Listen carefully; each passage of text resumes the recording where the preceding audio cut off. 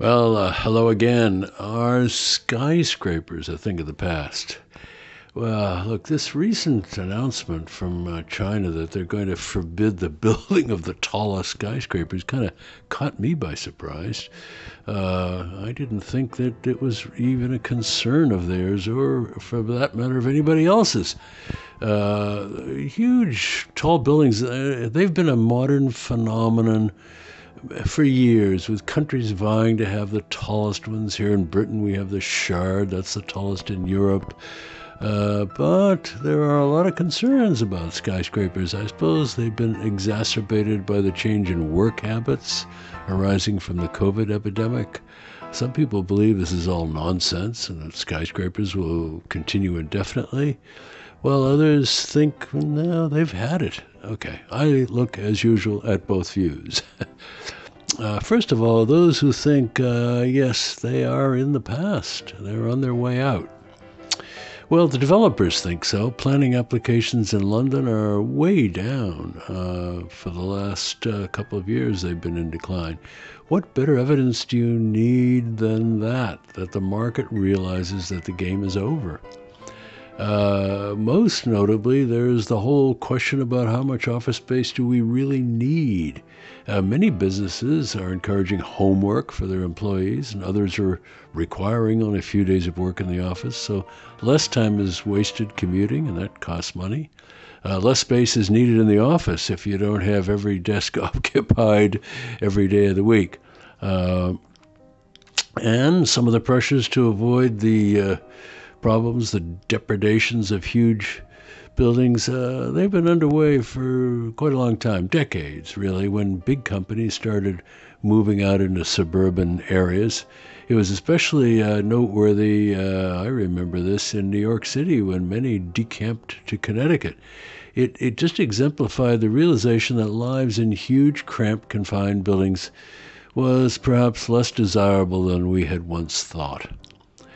Uh, and I'm afraid for some, the 9 11 terrorist attacks left us with uh, indelible memories and images of planes crashing into buildings. Uh, how could we possibly feel safe in a, in a high rise building again?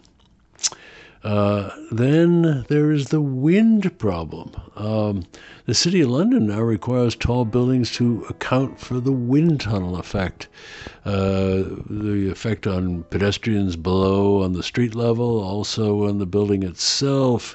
They have to take steps to test for and mitigate the impact from the earliest stages of the design process. Uh, and because of fears from infection, uh, people simply don't want to be working close to one another in hermetically sealed boxes, which is what modern offices really are.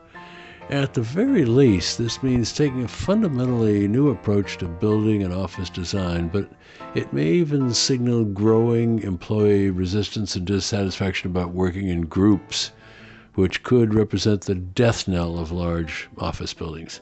So, there are a lot of arguments against uh, their continuing success. The uh, the storm clouds are, are, on the horizon for uh, for skyscrapers. Uh, certainly those that are uh, very high, such as those which are being forbidden in China. Well, what about those who poo poo all this and say, no, they are not? They're not on their way out. They have a big future.